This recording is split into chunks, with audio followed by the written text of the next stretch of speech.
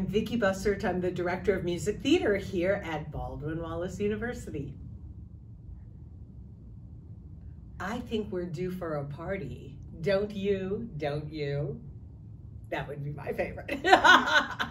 we'll be surprised at the level of talent. I think the level of talent since a lot of my career is done outside the school professionally, I would say the level of talent in this show is absolutely at a professional level. Is the most challenging aspect? Well, I think one of the most challenging things that we do at Baldwin Wallace is we do double casting. So by having um, two sets of principals, you are literally rehearsing a show twice, ultimately. So there's the additional time challenge, I think, that's involved with doing shows here, but it's absolutely worth it because the students are so exciting to work with.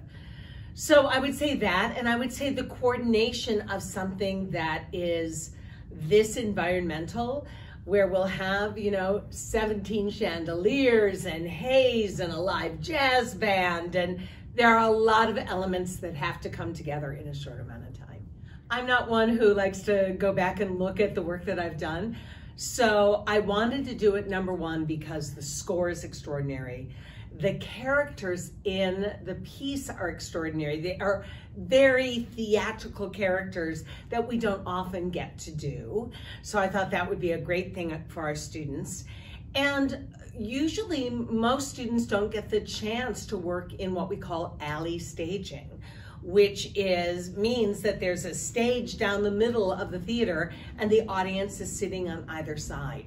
And that requires a whole new skill set for the actors and I thought we were at a level of advancement right now in the program that we should tackle it again. Well, it, this is a show that uh, premiered off Broadway in 2000, only had 54 performances and probably has, it's a real hidden gem and probably has one of the most exciting jazz scores ever written for a musical, which we will be doing with a live jazz band and we will be in our black box theater. So this will be a very immersive environmental experience for the audience.